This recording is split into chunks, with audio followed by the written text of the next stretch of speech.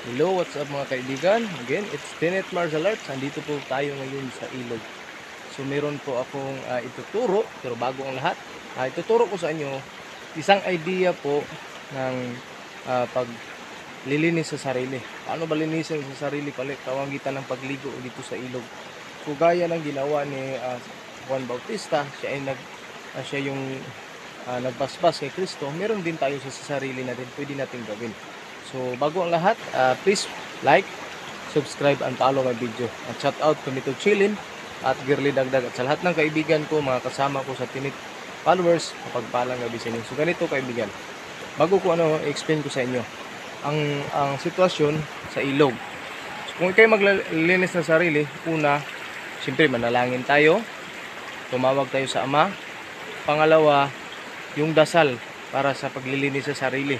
Kung wala ka pong Latin, pwede na po pagkatapos mo mag-anamin at sumasampalataya, luwalhati at saka abagin ng Maria, pwede mo na pong tawagan like uh, Satur Aripo Tinit at Rutas, Diyos Ama, sana po'y ah, linisin mo at iwaglit mo lahat ng mga negatibo sa katawan ko.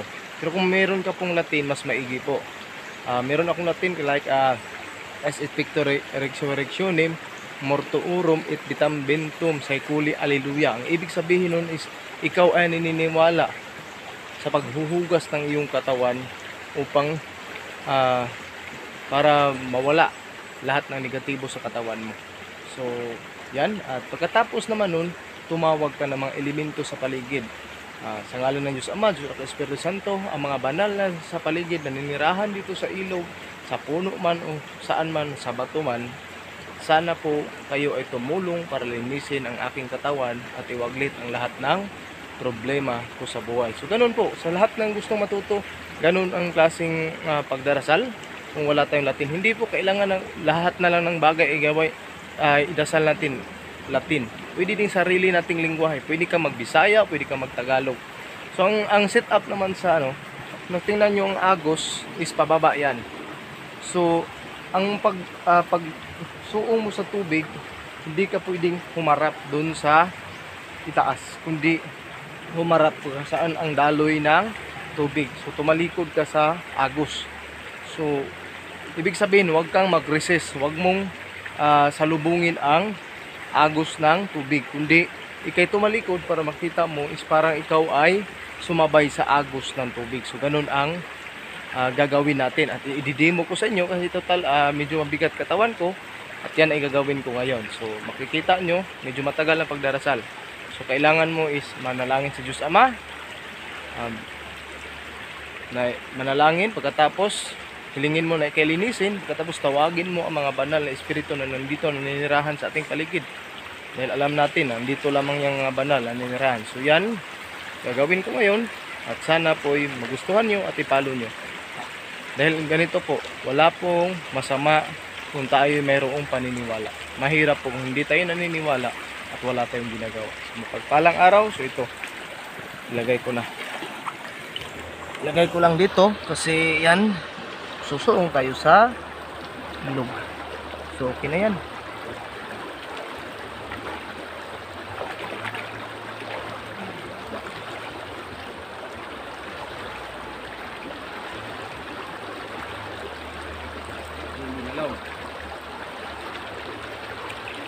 Kita mo nga naman, hindi pa nga ako nagkaahon, may nanukso na, lumalaw.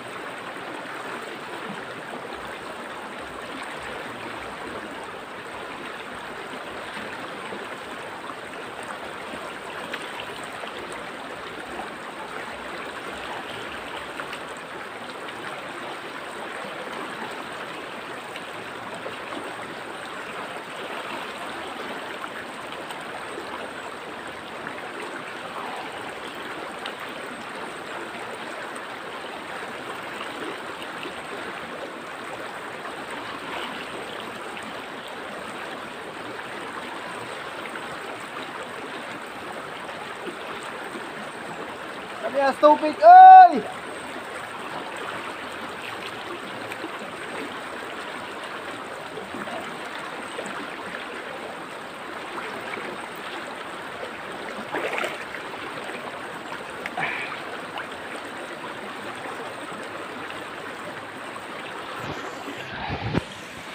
So, ganun lang mga kapatid. Ganun lang po kasimple.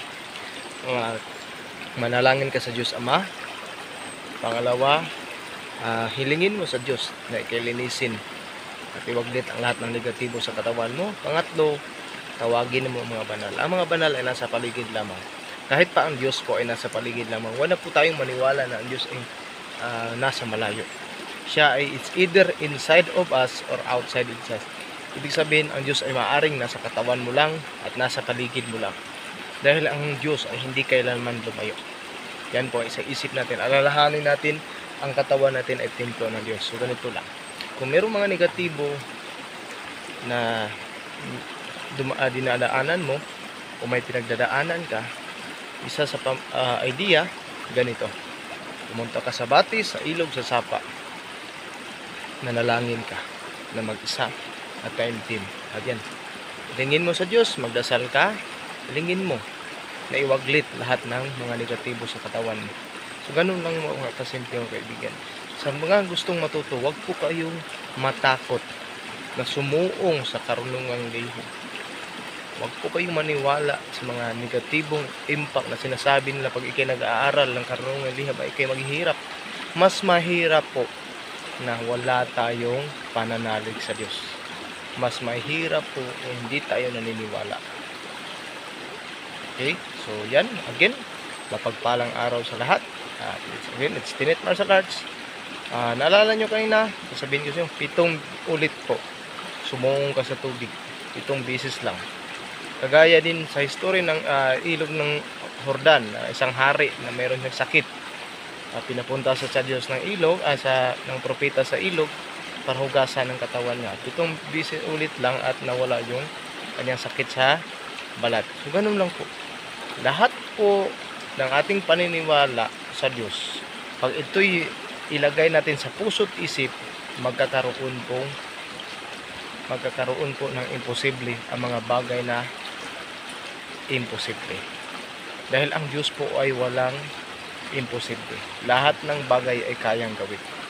So wala tayong magawa kung wala siya. So ganun lang. Again, sana po huwag niyong kalimutan ah, i-like, subscribe, and follow my video. And shout out guys, pakilikitan nyo Tumito Chilin, Han Isha, Girly Dagdag, na Tinet Girls, Tin Puyaters, Tinet Cleans followers, ang mga healers, Girly Dagdag, sa lahat ng mga kasamahan ko, shout out sa inyo, yung Ruel, sa lahat ng mga followers ko, at hindi ko siguro may isa-isa, pero Alaki Paul Alhusin, Lito Litua, Pedro Ilio, at Edward Espiritu, at Lisa Benedicto, Nali Benedicto, Eduardo Sapno, sa lahat-lahat na napupunta, ah, Alice Olmogis, ah, at sino pa, Alvin Competente, Dong Abel, Rodil Ladra, at sa lahat po, at saka si Sis Milet, yan, sa lahat ng mga naniniwala sa kapangyarihan ng Diyos, maraming salamat. At sana'y tayo magkaisa sa lahat ng mga nag sasabing sila'y haring bakal. Panindigan nyo po na kayo'y haring bakal. Yan. May nagbabasa akin kasi nagsasabi sila na hindi ako ano hindi ako totoo. Sa inyo yan. Talagang wala naman akong talagang kapangyarihan. Tama kayo. Dahil kung ano mang meron sa akin sa Diyos yan. Okay? So yan. Mga pagpalang araw again. Ito lang po ang masasabi ko tayo po ay hari ng ating kapaniwalaan. So kung ano po ang pinaniniwalaan natin yun po ang magiging tayo. Ano yung pinaniniwalaan natin? Yun ang magiging ah, guide natin. Yun ang ilaw natin. Kaya maraming salamat and big shout out and mapagpalang araw sa inyong lahat. Again it's Tinet Martial Arts ang inyong tagapaglingkod mga kaibigan. PM lang kayo. At sa Facebook ko Tinet Space Martial Arts. Tinet Martial Arts pa rin. Lagyan nyo lang ng space so the same lang ang pangalan ng account ko sa YouTube at saka Facebook mayroon po nagsasabi na ang nag-YouTube ay nagpapasikat lang po. Ah, meron din siguro pero sa ganito lang po. huwag muna kayong manghusga. Sa halip, tumulong kayo. Bago kayo manghusga ng ibang tao, tingnan nyo muna sarili nyo. Meron nga kayong kaalaman, pero inilihim nyo sa iba. Meron nga kayong kakayahan, hindi nyo naman, hindi nyo naman kayang gumawang tumulong. So wag na kayong mangbas sa mga taong gustong tumulong. Maaari ako, masasabi ko, oh, nag-YouTube ako para makatulong ako. Isinugal ko ang channel ko kaya hindi ako nagluloko. Kasi kung kung nagluloko ako, hindi hindi ako dadaan sa YouTube. Kasi sa YouTube ay malalaman ng lahat ang sikreto mo. So ganito yan mga kaibigan. Ah, nasa sa inyo yan, mga nagbabasa sa akin. Sinasabi nyo haring bakal kayo. Hindi nyo kilala nga ang founder ng haring bakal. Hindi nyo, kumala, hindi nyo kilala si Commander Aguila. Paano naging haring bakal kayo? Eh ang tunay na founder ng haring bakal, walang iba, si Commander Aguila. Kung kilala nyo naman si Commander Aguila, sige, challenge kayo, i-PM nyo ako. Sino ang nagbigay ng kapangyarihan kay Commander Aguila? Bakit niya ginawa ang grupong Haring Bakal? Kung masagot nyo kayo, masagot nyo ng tama, ibig sabihin magkapatid tayo sa paniniwala. Instead na magbas kayo, hindi na po. Maghanap kayo ng lunas ng mga katanungan nyo. Bakit hindi kayo nagkaroon ng isang bagay na mahalaga na dapat nasa inyo na sana dahil yan kayo ay naghuhukom ng ibang tao. Wala tayong karapatan na manghukom ng tao. Wala po. Tayo-tao lang din hanggat kumakain pa tayo ng bigas. Kahit ano pa yung isinuot mo, kahit ano pang tangan meron ka, maniwala ka sa akin, tao ka pa rin. Kaya ang Diyos lang nakakaalam kung ano yung para sa atin. Okay? Ah, sana po ah, dahan-dahanin nyo ang tabas ng dila nyo dahil yan naman ang dila nyo naman ang ah, babalik sa inyo. Kung ano yung inilabas ng bibig nyo, yun ang babalik sa inyo. Kaya kung mas maigi, sana mag-comment na lang kayo ng mabuti para hindi mabab para babalik sa inyo ay mabuti. Okay? Mapagpalang araw. Again, maraming salamat sa mga kapanalig and big shout out sa lahat. And mapagpalang araw sa atin naway tayo magkaisa. Maraming salamat.